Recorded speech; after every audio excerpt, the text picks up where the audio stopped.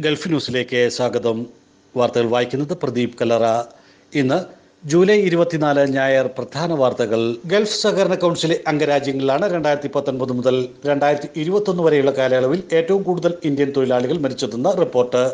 പാർലമെന്റിലെ ചോദ്യത്തിന് മറുപടിയായി നൽകിയ റിപ്പോർട്ടിലാണ് ഇത് പുറത്തു വന്നത്. രണ്ടായിരത്തി പത്തൊൻപത് മുതൽ രണ്ടായിരത്തി ഇരുപത്തൊന്ന് വരെ ഏറ്റവും കൂടുതൽ ഇന്ത്യൻ തൊഴിലാളികൾ മരിച്ചത് യു എയിലും സൗദി അറേബ്യയിലുമാണെന്ന് സർക്കാർ വ്യക്തമാക്കി. രണ്ടായിരത്തി ഇരുപതിൽ ഏറ്റവും കൂടുതൽ പ്രവാസികൾ മരണപ്പെട്ടത് സൗദിയിലാണ്. മൂവായിരത്തി എഴുന്നൂറ്റി അൻപത്തി മൂന്ന് തൊഴിലാളികൾ രണ്ടായിരത്തി ഇരുപതിൽ മരിച്ചപ്പോൾ ഒരു വർഷത്തിനു ശേഷം രണ്ടായിരത്തി ഇരുപത്തൊന്നിൽ എണ്ണം രണ്ടായിരത്തി മുന്നൂറ്റി ഇരുപത്തെട്ടായി കുറഞ്ഞു. തൊഴിലാളികൾക്ക് ആരോഗ്യവും തൊഴിലുമായി ബന്ധപ്പെട്ട പ്രതിസന്ധികളും കോവിഡ് മഹാമാരിയുമാണ് ഇത്രയധികം മരണം ഉണ്ടാകുവാൻ കാരണം. രണ്ടായിരത്തി പത്തൊൻപതിൽ സൗദി അറേബ്യയിൽ ഇന്ത്യൻ തൊഴിലാളികളുടെ മരണസംഖ്യ രണ്ടായിരത്തി മുന്നൂറ്റി അൻപത്തി മൂന്ന് ആയിരുന്നു. ഖത്തറിൽ പകൽ താപനില കനക്കുകയാണ്. വേനൽ ചൂടിൽ വീടിനകത്തും വാഹനങ്ങളിലും ഉണ്ടായേക്കാവുന്ന തീപിടുത്തത്തെ പ്രതിരോധിക്കുവാൻ മുൻകരുതലുകൾ ഉറപ്പാക്കണം. കുട്ടികളുടെ മേലും കരുതൽ വേണ്ടതാണ്. ആഭ്യന്തര മന്ത്രാലയമാണ് സാമൂഹ്യ മാധ്യമങ്ങളിലൂടെ വീടുകളിലും വാഹനങ്ങളിലും പാലിക്കേണ്ട മുൻകരുതലുകളെക്കുറിച്ച് ഓർമ്മപ്പെടുത്തിയിരിക്കുന്നത്. പുറത്തെ താപനിലയേക്കാൾ കൂടുതലായിരിക്കും വാഹനങ്ങൾക്ക് ഉള്ളിലുള്ളത് എന്നതിനാൽ അപകടങ്ങളെ പ്രതിരോധിക്കുവാൻ ജാഗ്രത അനിവാര്യമാണ്. വീടിന് പുറത്തേക്ക് യാത്ര പോകുമ്പോൾ കാലാവസ്ഥാ സാഹചര്യം പരിശോധിക്കണം. ഗതാഗത നിയമങ്ങൾ പാലിച്ചു വേണം വാഹനം ഓടിക്കാനെന്നും അധികൃതർ നിർദ്ദേശിക്കുന്നു. ഒളിമ്പിക്സിലും ലോക അത്ലറ്റിക്സ് ചാമ്പ്യൻഷിപ്പിലും മെഡൽ നേടുന്ന ആദ്യ ഇന്ത്യൻ താരമായി നീരജ് ചോപ്ര. പുരുഷന്മാരുടെ ജാവലിൻ ത്രോയിൽ ടോക്കിയോ ഒളിമ്പിക്സിൽ സ്വർണം സ്വന്തമാക്കിയ നീരജ് ചോപ്ര ലോക അത്ലറ്റിക്സ് ചാമ്പ്യൻഷിപ്പിൽ വെള്ളി മെഡൽ നേടി. ഇതിനു മുമ്പ് ലോങ് ജമ്പ് താരം അഞ്ജു ബോബി ജോർജ് മാത്രമാണ് ലോക മീറ്റിൽ ഇന്ത്യയ്ക്കായി മെഡൽ നേടിയിട്ടുള്ളൂ. പാരീസ് ചാമ്പ്യൻഷിപ്പിൽ അഞ്ചു വെങ്കലമായിരുന്നു സ്വന്തമാക്കിയത്. നേരത്തെ ഒറിഗോണിലെ യോഗ്യതാ റൗണ്ടിൽ എൺപത്തെട്ട് പോയിന്റ് മൂന്ന് ഒൻപത് മീറ്റർ ദൂരത്തോടെ എറിഞ്ഞാണ് രണ്ടാം സ്ഥാനക്കാരനായിരുന്ന നീരജ് ചോപ്ര തന്റെ കന്നി ഫൈനലിന് യോഗ്യത നേടിയത്. കലാശപ്പോരിൽ വിവിധ റൗണ്ടുകളിൽ പ്രകടനം മെച്ചപ്പെടുത്തി നീരജ് വെള്ളിയിലേക്ക് ജാവലിൻ എറിയുകയായിരുന്നു. എൺപത്തെട്ട് പോയിന്റ് ഒന്ന് മൂന്ന് മീറ്റർ ദൂരവുമായാണ് നീരജിന്റെ വെള്ളി നേട്ടം. അതേസമയം ഫൈനലിൽ മത്സരിച്ച ഇന്ത്യയുടെ മറ്റൊരു താരം രോഹിത് യാദവിന് പത്താം സ്ഥാനത്തെ ഫിനിഷ് ചെയ്യാനായുള്ളൂ. ഗ്രാനൈഡയുടെ ലോക ചാമ്പ്യൻ ആൻഡേഴ്സൺ പീറ്റേഴ്സിന്റെ തൊണ്ണൂറ് പോയിന്റ് അഞ്ച് നാല് മീറ്ററുമായി സ്വർണം നിലനിർത്തി. ഫൈനലിൽ നീരജിന് ഏറ്റവും വലിയ വെല്ലുവിളിയാവുമെന്ന് പ്രതീക്ഷിച്ച താരം തന്നെയായിരുന്നു പീറ്റേഴ്സ്.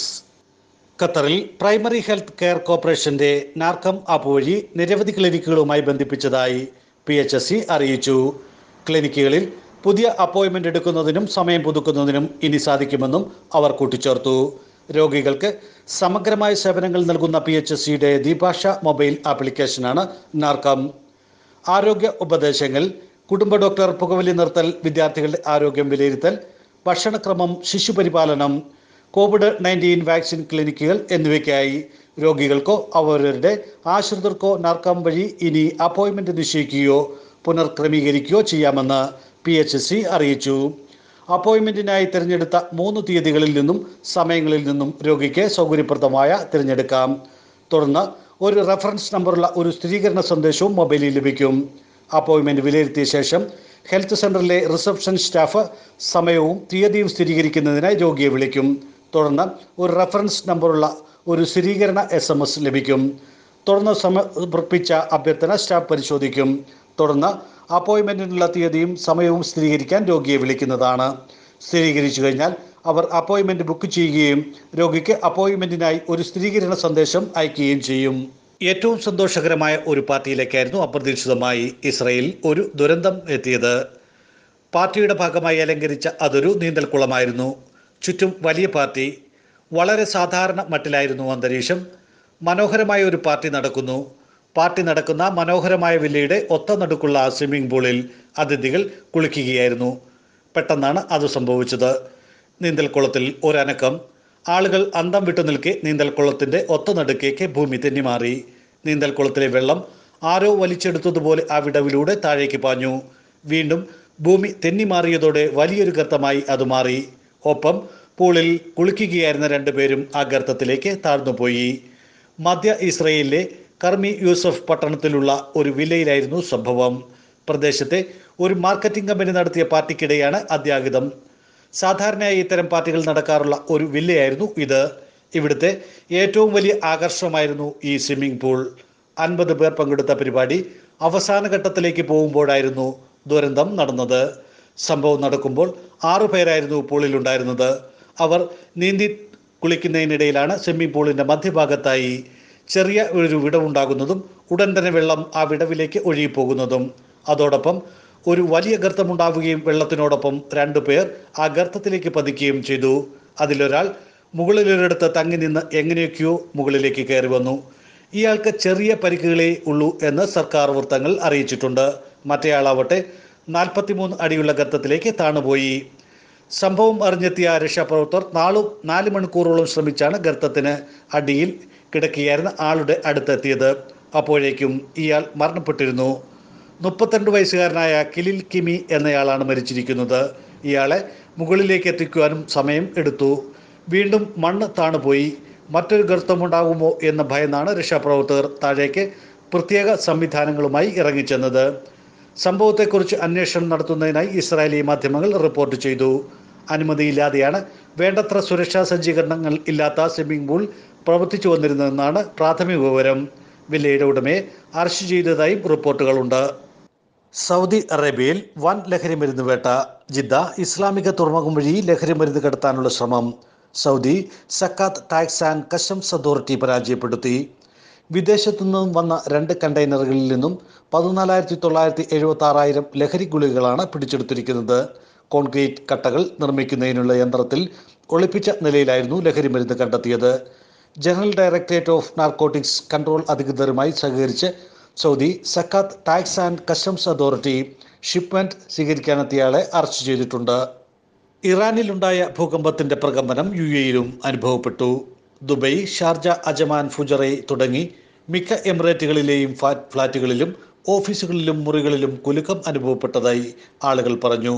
ഇറാനിൽ അഞ്ച് പോയിന്റ് മൂന്ന് പൂജ്യം തീവ്രത രേഖപ്പെടുത്തിയ ഭൂകമ്പത്തിന്റെ ചലനം യു എയിൽ ഉണ്ടായതായി ദേശീയ കാലാവസ്ഥാ കേന്ദ്രം സ്ഥിരീകരിച്ചിട്ടുണ്ട്.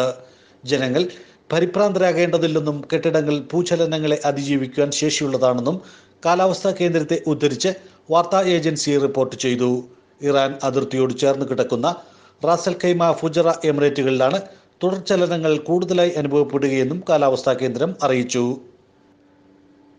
യു എയിൽ വരും ദിവസങ്ങളിൽ മേഘാവൃതമായ കാലാവസ്ഥയായിരിക്കുമെന്നും പല സ്ഥലങ്ങളിലും മഴയ്ക്ക് സാധ്യതയുണ്ടെന്നും കാലാവസ്ഥാ നിരീക്ഷകർ പറഞ്ഞു.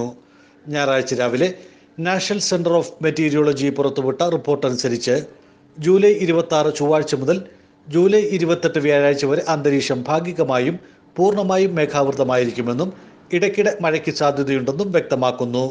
രാജ്യത്തിന്റെ കിഴക്ക് വടക്ക് ഭാഗങ്ങളിൽ നിന്നാരംഭിക്കുന്ന മഴമേഘങ്ങൾ പിന്നീട് തീരപ്രദേശത്തേക്കും പടിഞ്ഞാറൻ പ്രദേശങ്ങളിലേക്കും വ്യാപിക്കുമെന്നും അറിയിപ്പിൽ പറയുന്നു. വ്യാഴാഴ്ചയോടെ താപനിലയിലും മേഘങ്ങളിലും കുറവുണ്ടാകുമെന്നും പ്രതീക്ഷിക്കുന്നു. ചില സമയങ്ങളിൽ നേരിയ കാറ്റ് വീശുവാനും ചിലപ്പോൾ ഇത് ശക്തമാകാവാനും സാധ്യതയുണ്ട്. കാറ്റിൽ പൊട്ടിപ്പടലങ്ങൾ നിറയുന്നത് ദൂരക്കാഴ്ചയെ ബാധിക്കാനും കാരണമായേക്കുമെന്നും അധികൃതർ മുന്നറിയിപ്പ് നൽകുന്നു. എഴുപതിലധികം രാജ്യങ്ങളിൽ കുരങ്ങുപ്പനി പടർന്നു പിടിക്കുന്നത് അസാധാരണമായ ഒരു സാഹചര്യമാണെന്ന് ലോകാരോഗ്യ സംഘടന പറഞ്ഞു. ലോകാരോഗ്യ സംഘടന ഡയറക്ടർ ജനറൽ ട്രഡോസ് ഗബ്രിയോസസ് ആണ് രോഗ അടിയന്തരാവസ്ഥ പ്രഖ്യാപിച്ചത്. പതിറ്റാണ്ടുകളായി മധ്യപടിഞ്ഞാറൻ ആഫ്രിക്കയുടെ ചില ഭാഗങ്ങളിൽ കുരങ്ങുപനി ഉണ്ടായിട്ടുണ്ടെങ്കിലും ഭൂഖണ്ഡത്തിനിപ്പുറം യൂറോപ്പിലും വടക്കേ അമേരിക്കയിലും മറ്റിടങ്ങളിലും ഡസൻ കണക്കിന് പകർച്ചവ്യാധികൾ അധികാരികൾ കണ്ടെത്തിയപ്പോൾ മെയ് വരെ ആളുകൾക്കിടയിൽ വ്യാപകമായി പടരുമെന്ന് അറിയില്ലായിരുന്നു. ആഗോള അടിയന്തരാവസ്ഥ പ്രഖ്യാപിക്കുക എന്നതിനർത്ഥം കുരങ്ങുപനി പൊട്ടിപ്പുറപ്പെടുന്നത് ഒരു അസാധാരണ സംഭവമാണ്. അത് കൂടുതൽ രാജ്യങ്ങളിലേക്ക് വ്യാപിക്കാനിടയുള്ളതും ഏകോപിതമായ ആഗോള പ്രതികരണം ആവശ്യമാണ്. കോവിഡ് പത്തൊൻപത് പാൻഡമിക് രണ്ടായിരത്തി പതിനാലിലെ വെസ്റ്റ് ആഫ്രിക്കൻ എബോള രണ്ടായിരത്തി പതിനാറിൽ ലാറ്റിൻ അമേരിക്കയിലെ സിക്ക വൈറസ് പോളിയോ നിർമ്മാർജനം ചെയ്യാനുള്ള ശ്രമങ്ങൾ തുടങ്ങിയ പൊതുജനാരോഗ്യ പ്രതിസന്ധികൾക്ക് ലോകാരോഗ്യ സംഘടന അടിയന്തരാവസ്ഥ പ്രഖ്യാപിച്ചിരുന്നു. ഇതോടുകൂടി ഇന്നത്തെ സായന ഗൾഫ് ന്യൂസ് സമാപിച്ചിരിക്കുകയാണ്.